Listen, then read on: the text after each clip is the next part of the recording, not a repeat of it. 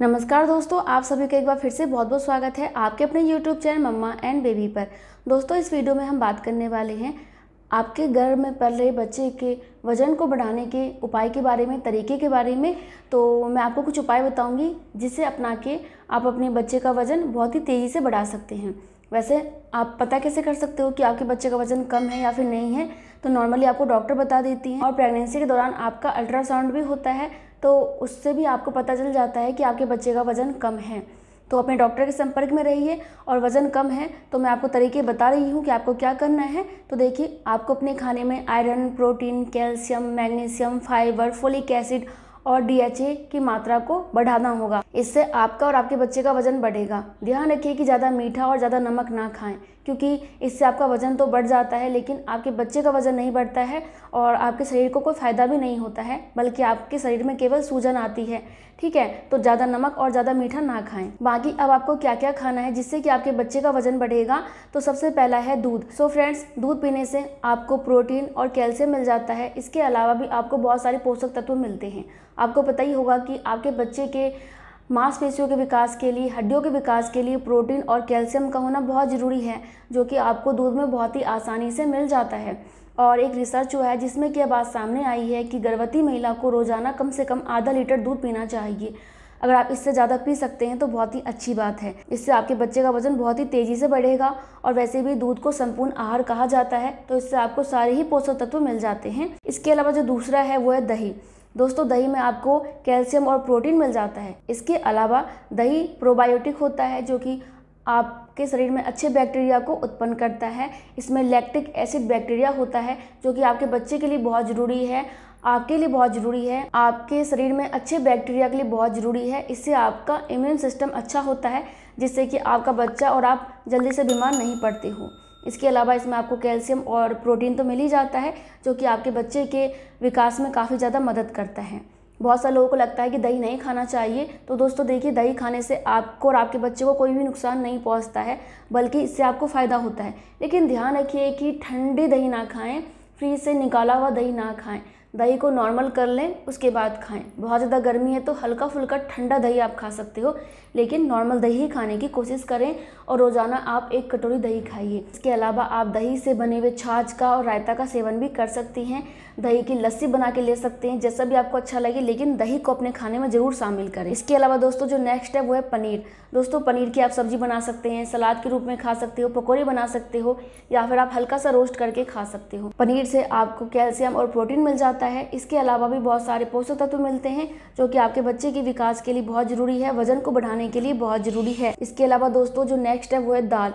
आपको पता ही है कि दाल सभी के घर में बहुत ही आसानी से मिल जाता है, हमेशा उपलब्ध रहता है। और दोस्तों, दाल में आपको बहुत ही ज़्यादा प्रोटीन मिल जाता है, बहुत ज़्यादा आयरन मिल जाता है, जिससे कि आप अपने शरीर में, अपने बच्चे के शरीर में आयरन और प्रोटीन की कमी को पूरा कर सकती हैं। तो आप क्या कर सकते हैं कि सिंपल सा दाल बनाओ, उसमें एक चम्मच घी डाल लो, उसमें हींग डाल लो और रोटी के साथ, चावल के साथ खाओ, दाल का सूप बना के ले सकते हो।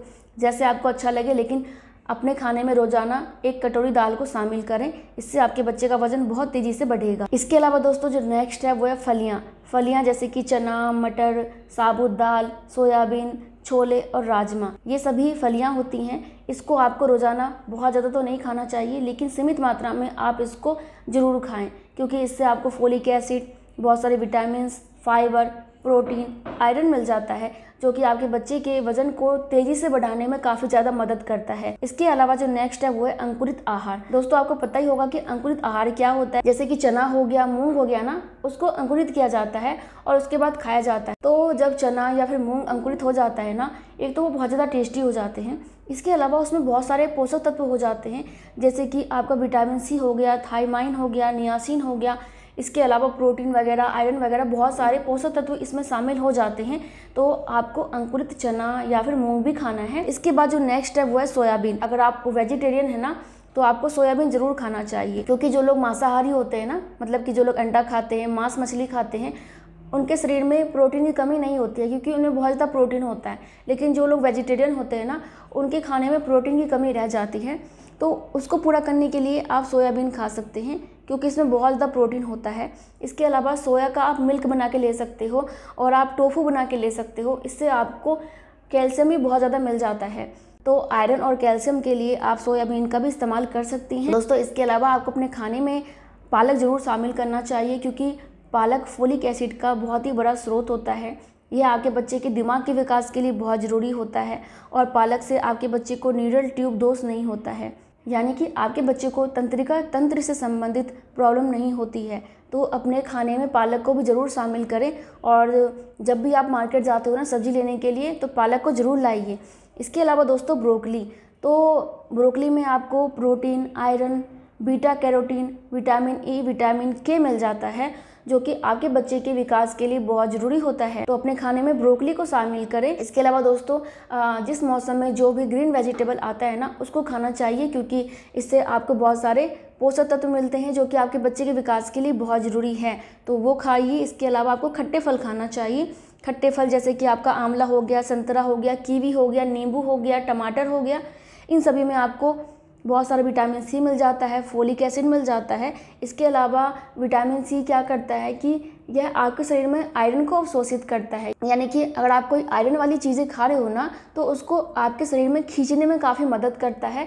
तो आपके बच्चे के शरीर में और आपके शरीर में आयरन की कमी नहीं रहती है, क्योंकि आपको पता ही है कि आयरन कितना ज़रूरी है। आयरन की वजह से बहुत सारी प्रॉब्लम हो जाती है। बच्चे के वज़न में दिक्कत आती है, नॉर्मल डिलीवरी में दिक्कत आती है, आपको भी बहुत सारी बीमारियों से बचाती है। इसलिए आयरन होना बहुत ज़रूरी है और विटामिन सी आपके शरीर में आयरन को अवशोषित करता है, इसलिए खट्टे फल को अपने खाने में ज़रूर शामिल करें। इसके अलावा दोस्तों, मार्केट में जो भी फल आपको मिलता है, आपको वो सभी खाना चाहिए। कुछ फल को छोड़ के जैसे कि आपका अनानास हो गया, पपीता हो गया और आपको अंगूर भी ज़्यादा मात्रा में नहीं खाना चाहिए। वैसे आप अंगूर खा सकते हैं, लेकिन ज़्यादा मात्रा में ना खाएँ। बाकी आप जितने भी फल आते हैं, सबको खाइए। सब में आपको कुछ ना कुछ पोषक तत्व मिल जाता है, जो कि आपके बच्चे के विकास के लिए ज़रूरी होता है, आपके बच्चे के वज़न को बढ़ाने के लिए ज़रूरी होता है। इसके अलावा दोस्तों, जो नेक्स्ट है वह ड्राई फ्रूट्स ड्राई फ्रूट्स आप सारे खा सकते हैं, लेकिन लिमिट मात्रा में खाइए। और मैंने आपको कई बार बताया है कि आपको रोज़ाना पाँच बादाम खाना है तो आपको क्या करना है कि रात में पानी में बादाम को डाल के रख दीजिए, सुबह उठ के छिलका उतार के खा लो। इससे आपके बच्चे का वज़न बहुत तेज़ी से बढ़ता है, आपके बच्चे का दिमाग बहुत अच्छे से विकसित होता है और आपके बच्चे की हड्डियाँ बहुत मज़बूत बनती हैं। इसके अलावा भी बहुत सारे फ़ायदे मिलते हैं। बाकी जो भी ड्राई फ्रूट्स होते हैं, सभी को अपने खाने में शामिल करें, ठीक है? इसके बाद दोस्तों, आपको लेना चाहिए नारियल पानी क्योंकि नारियल पानी भी आपके बच्चे के विकास के लिए बहुत ज़रूरी है, आपकी प्रेगनेंसी के लिए बहुत ज़रूरी है। इसके अलावा जूस ले सकते हैं और बहुत इंपॉर्टेंट बात, पानी। तो आपको पानी भरपूर मात्रा में पीना है क्योंकि पानी की कमी की वजह से बहुत सारी दिक्कतें हो जाती हैं। तो कम से कम 10 से 12 गिलास पानी पीजिए ताकि आपके बच्चे का विकास अच्छे से हो। क्योंकि अगर आपके पानी की थैली में पानी की कमी हो जाएगी तो इससे समय से पहले डिलीवरी होना आपके बच्चे का वज़न कम होना, आपके बच्चे का ठीक से ना घूमना, ये सारी प्रॉब्लम्स हो जाती है। इसलिए पानी अच्छी मात्रा में पिए। सो फ्रेंड्स ये कुछ खाने पीने की चीज़ें हो गई। इसके अलावा जो भी पोषक तत्वों से भरपूर चीज़ें हैं ना, वो सब खाइए। और कोशिश करें कि आप भरपूर मात्रा में आराम करें। आठ घंटे की नींद ज़रूर लें।